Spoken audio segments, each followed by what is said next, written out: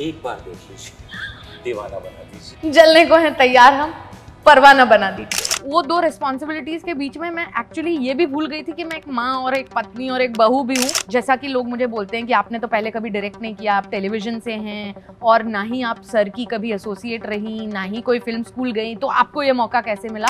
And suddenly sir मैंने कहा nice joke. एक ये बच्ची जिसने सिर्फ़ एक ही फ़िल्म की है इसके पहले तो ऑब्वियस था कि उन पर निट पिकिंग की जाती। ये ये हम लोग भी कहीं ना कहीं तैयार थे कि निट पिकिंग होगी इन पर लेकिन इस लेवल पे जाके लोग परेशान करेंगे ये और वो नेशनल क्रश मैंने लेकिन मैं आपको बताना चाहती हूँ ये बात मैंने प्रिडिक्ट कर दी थी जब हम शूट कर रहे थे गाताहा शाह तुम यू मार्क माई वर्ड्स तुम नेशनल क्रश नहीं बने तो मेरा नाम बदल रहे अरे मेरे को कल किसी ने भेजी कि किसी ने बिहारी हीरा मंडी। हे सकल बना। शारमिन का जो कैरेक्टर था ना वो था ही कुछ इंट्रोवर्ट जो कम यू नो वो अ, मैली नहीं है। ये जिसका भी इंटरव्यू करते हैं वो वायरल हो जाता है।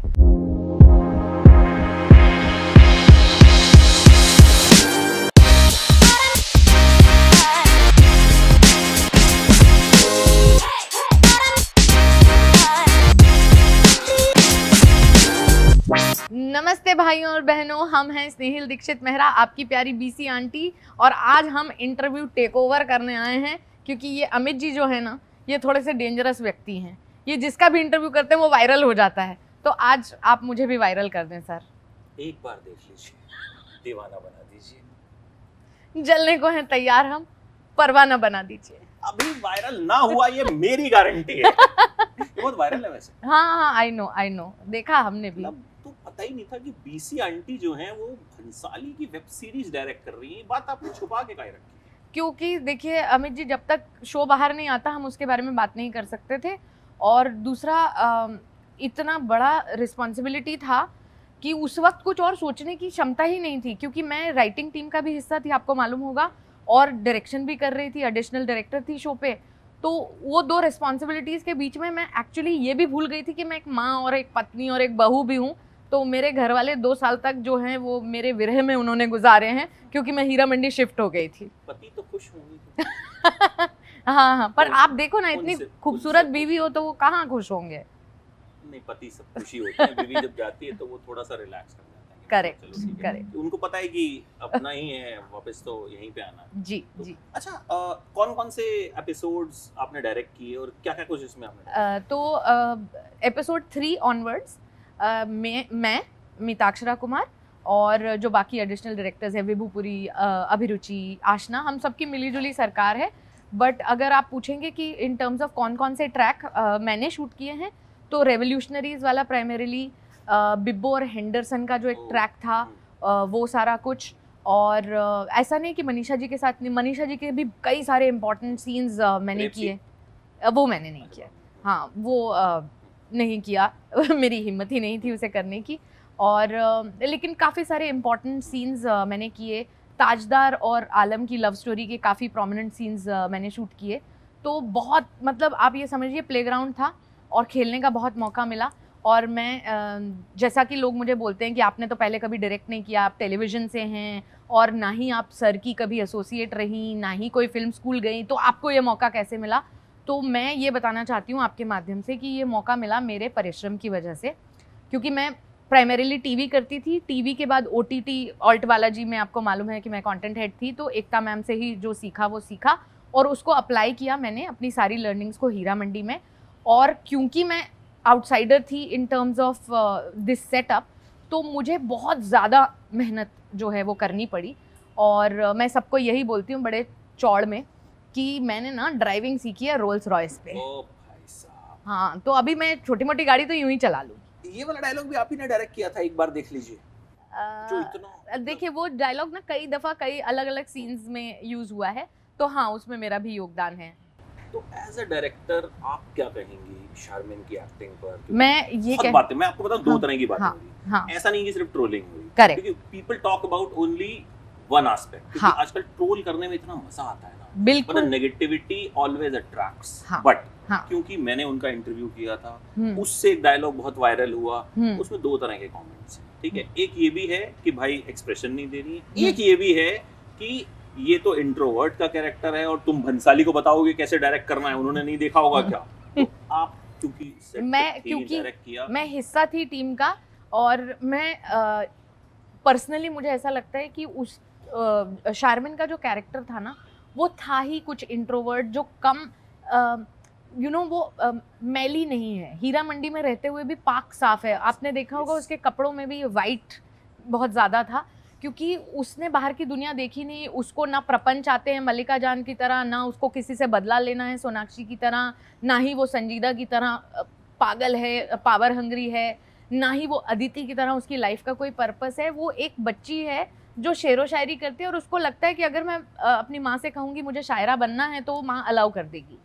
नॉट नोइंग कि क्या है हीरा मंडी में पैदा होने का मतलब क्या है।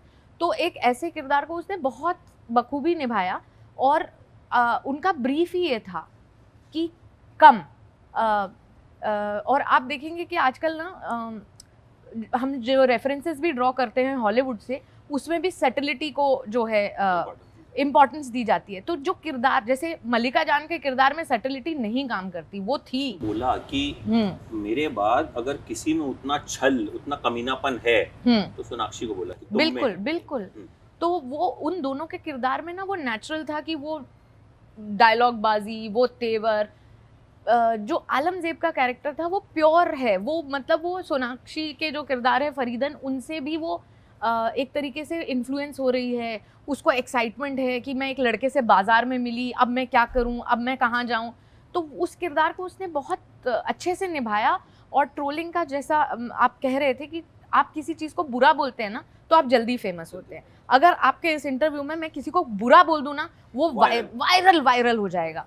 तो वही होता है क्योंकि हम लोग नेगेटिविटी पे ज़्यादा अट्रैक्ट होते हैं। अभी कमेंट्स में आप और मैं तो दोनों ही सोशल मीडिया में हमारी एक प्रेजेंस है है। एक प्रेजेंस है। तो आपने देखा होगा कि कमेंट्स में जब लड़ाइयाँ हो रही होती है बड़ा मज़ा आता है। हाँ, उनको है?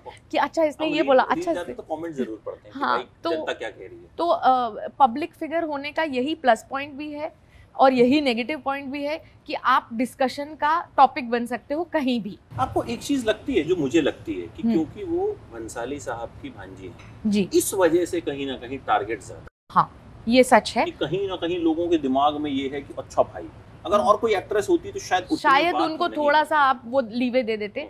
और दूसरी बात ये कि इतनी वेटरन कास्ट है। मनीषा जी की बॉडी ऑफ़ वर्क सोनाक्षी का बॉडी ऑफ़ वर्क अदिति का बॉडी ऑफ़ वर्क और उसमें एक ये बच्ची जिसने सिर्फ़ एक ही फ़िल्म की है इसके पहले तो ऑब्वियस था कि उन पर निट पिकिंग की जाती। ये ये हम लोग भी कहीं ना कहीं तैयार थे कि निट पिकिंग होगी इन पर लेकिन इस लेवल पे जाके लोग परेशान करेंगे। ये थोड़ा सा डिस्टेस्टफुल हो गया।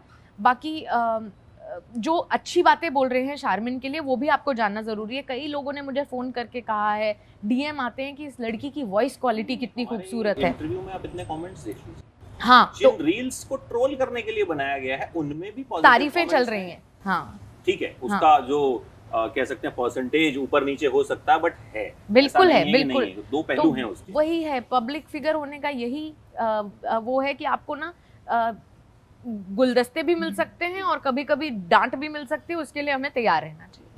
अच्छा आपकी जर्नी पे हम आएँगे अभी की जैसे आप कह रही थी कि लोग कह रहे हैं हम्म। भाई कैसे कर लिया। हाँ।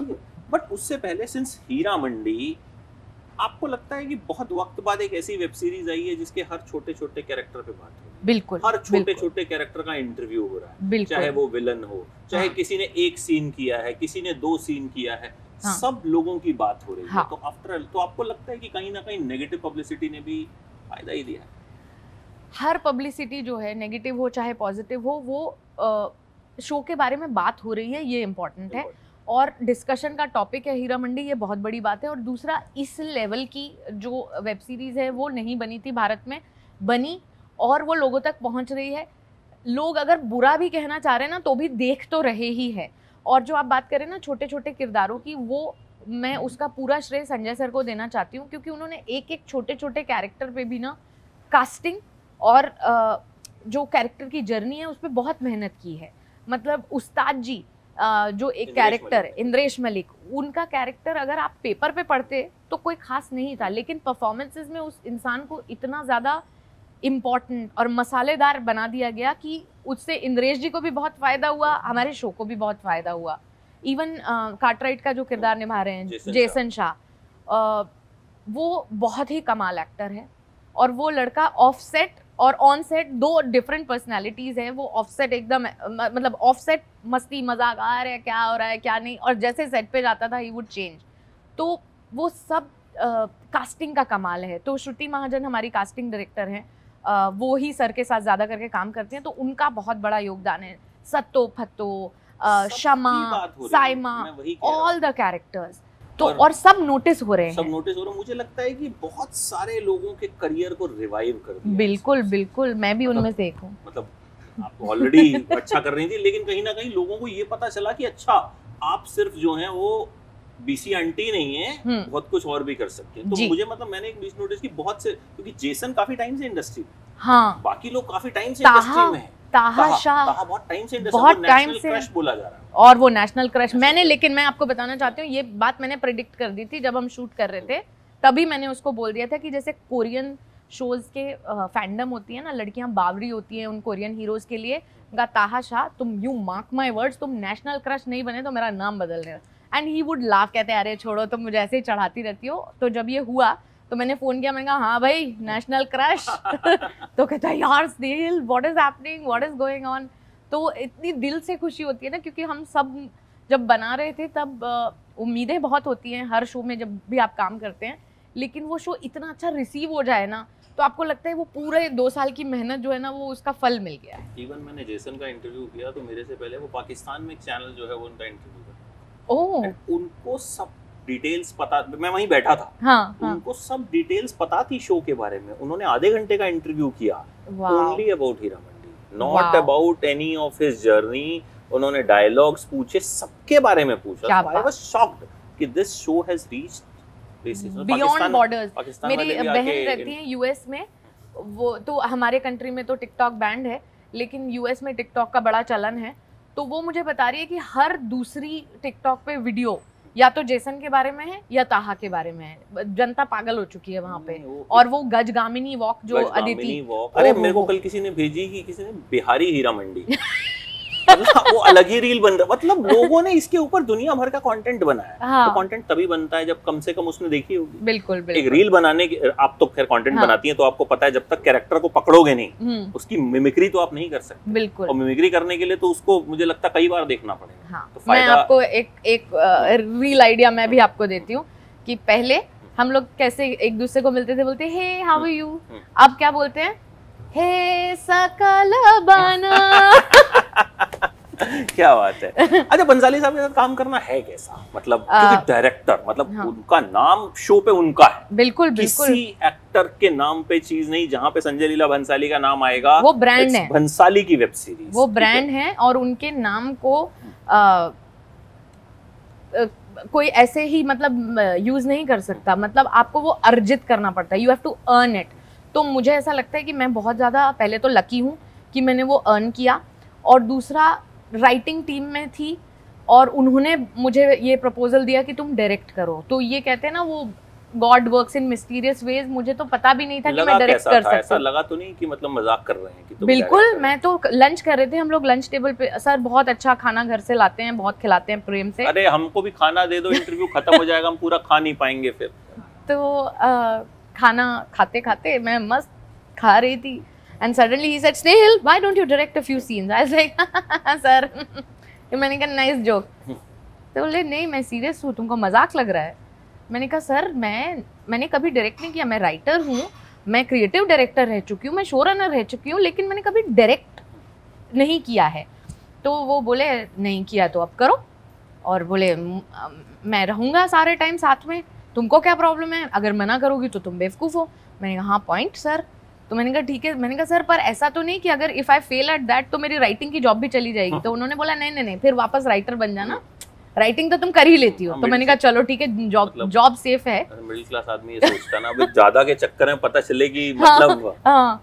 तो मैंने पूरी तैयारी से पहले दिन जो मैं पहुँची एकदम असैसिन बन के मैंने कहा आज तो सर को आशीर्वाद लेके मैंने कहा सर आज मैं बताती हूँ कि मैं कैसे कर सकती हूँ। और सीन शूट करना शुरू किया पहला तो कौन सा किया था? जब आलमजेब हीरा मंडी छोड़ के भाग रही है और उसको सोनाक्षी बोलती है कि जा वो वेट कर रहा है। अच्छा ओके बग्गी में हम्म। वो उसको बरगलाती हम्म, वो हम्म, पहला मेरा जीवन का पहला शॉट था। तो शॉट हुआ और सर भी थे सेट पे आसपास। वो लेकिन ऐसे कि अब करो बेटा करो मैं इधर ही हूँ कुछ चाहिए होगा तो I am right here but you do your thing I was constantly looking ऐसे पेरेंट्स की तरफ़ नहीं देखते कि, सर, मैं ठीक कर रही हूँ ना? सर, मैं ठीक कर रही हूँ ना? तो उन्होंने बोला, मुझे मत देखो, करो। गट फीलिंग के साथ करो। मैंने कहा ओके तो पहला शॉट ओके हुआ और तालियाँ बज गई सेट पे, सब लोगों ने ताली बजाई। तो सोनाक्षी अपने फ़ोन में देखते बोले, क्या? मैंने इतना अच्छा नहीं किया, ताली मत बजाओ। तो बोले, नहीं मैम आपके लिए नहीं बजा रहे हैं। स्नेहिल का पहला शॉट था जीवन का। एंड सोनाक्षी रिएक्शन वाज कि अच्छा मुझे लगा वो तो करती होगी डायरेक्ट बहुत अच्छा मतलब शी नोज़ हर थिंग तो मैंने कहा, चलो। नौकरी सेफ़ और फिर उसके बाद ऐसा हो गया कि एक यूनिट स्नेहिल की यूनिट में ये सीन होगा स्नेहिल की यूनिट में ये सीन तो वो जो खुशी होती है ना वो मैं आपको बयान नहीं कर सकती क्योंकि 18 सालों का परिश्रम है उसके पीछे हम्म। और जो कोई नहीं जानता था अब अब लोग जान अब रहे हैं।